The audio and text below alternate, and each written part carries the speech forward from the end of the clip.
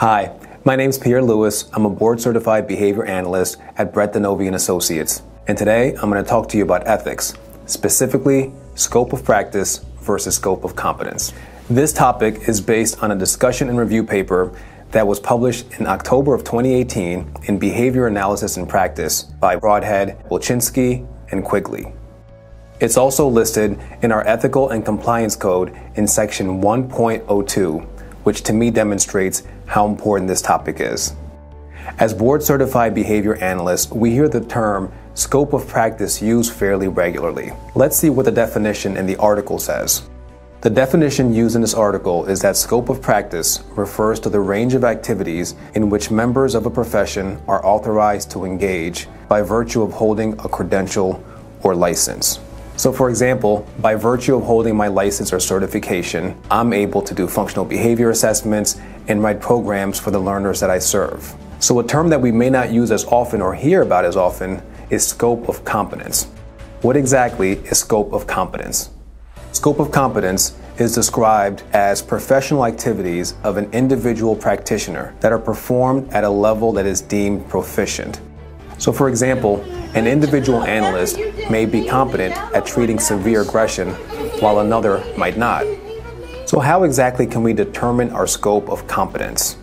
The article lists some examples factors such as coursework, ongoing development, such as subscribing to journal articles and continuing education opportunities, supervised practical experience, and training opportunities. So, as you can imagine, this varies greatly from analyst to analyst. In fact, you might have two analysts in the exact same program who end up with different competencies. It's important that behavior analysts practice within their scope of competence. As you can imagine, there might be detrimental outcomes if that does not happen. Things like bringing undue harm to a client or disciplinary action. What we may not think about is that there are different reasons why behavior analysts may decide to practice outside their scope of competence. In the article, there are five reasons that are listed. I'm going to talk about three.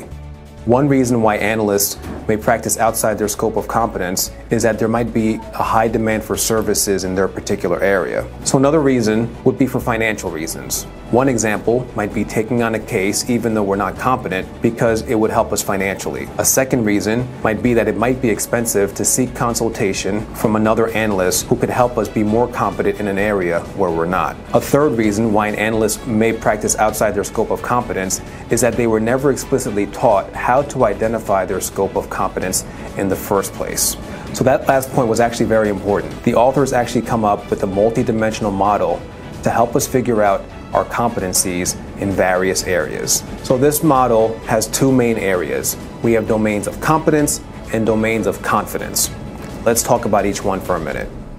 Domains of competence are things such as our ability to perform procedures and strategies for a particular problem. It also includes our experience working with a particular population. So, for example, an analyst may be competent working with learners with an autism diagnosis, but may not have experience working with someone who has Alzheimer's. And third is settings.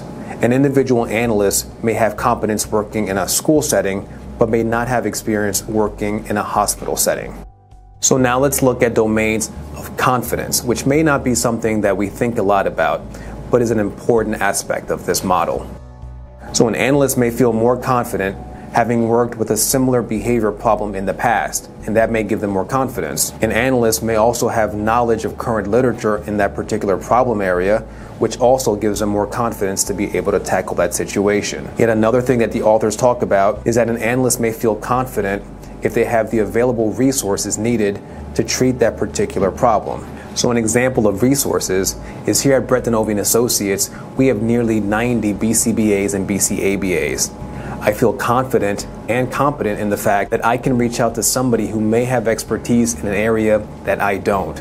And so I'm able to match the resource of having other analysts to an area where I may not feel necessarily that confident.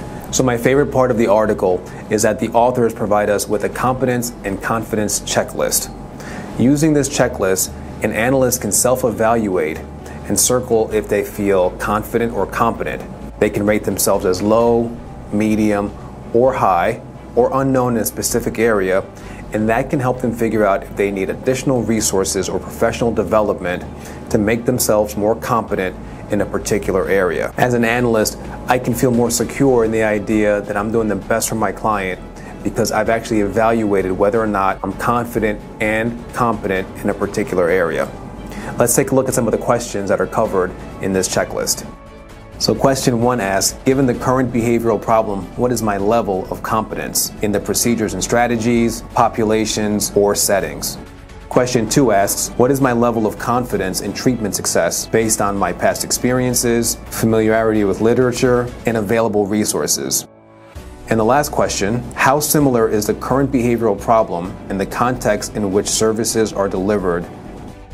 Each of these questions allows me to rate myself as high, medium, low, or unknown, and to help me figure out if I should pursue additional supervision or professional development.